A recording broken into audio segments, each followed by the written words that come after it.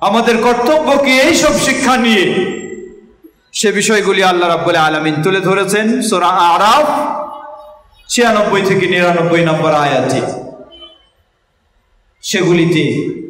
স্পষ্টভাবে আল্লাহ রাব্বুল আলামিন বলে দিয়েছেন আমাদের করণীয় কি তো আল্লাহ বলেন ولو أن أهل القرى آمنوا واتقوا لفتحنا عليهم بركات من السماء والأرض ولكن كذبوا فأخذناهم بما كانوا يكسبون আল্লাহ সুবহানাহু ওয়া তাআলা বলেন ওয়ালাউ আন্না আহলাল কুরা দেশবাসী যদি জনগণ যদি আমানু ঈমান আনত ওয়াত্তাকাউ আল্লাহ মেনে চলতো। আল্লাহ বলেন আলাইহিম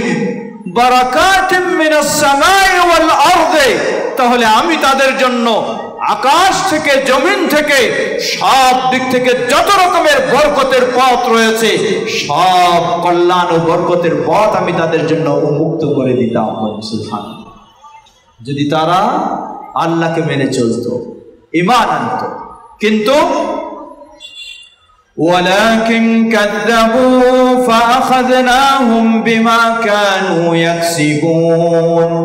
কিন্তু তারা ইমান আনেনি আল্লাহকে বিশ্বাস করেনি বরং আল্লাহকে অস্বীকার করেছে মিথ্যা জেনেছে যার ফলে আল্লাহ বলেন ফাআখাযনাহুম বিমা কানু ইয়াকসিবুন তাদের এই অপকর্মের কারণে, বেঈমান হওয়ার কারণে, বেদিন হওয়ার কারণে, ইসলাম বিদ্বেষী হওয়ার কারণে, নাস্তিকতাকে বেছে নেওয়ার কারণে, ইসলামী শিক্ষা বন্ধ করে দেওয়ার কারণে, বেদিন শিক্ষাকে অবেন করে দেওয়ার কারণে,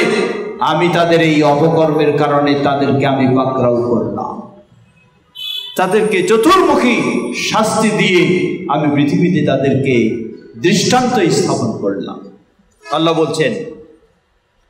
أفأمن أهل القرى أن يأتيهم بأسنا بياتا وهم نائمون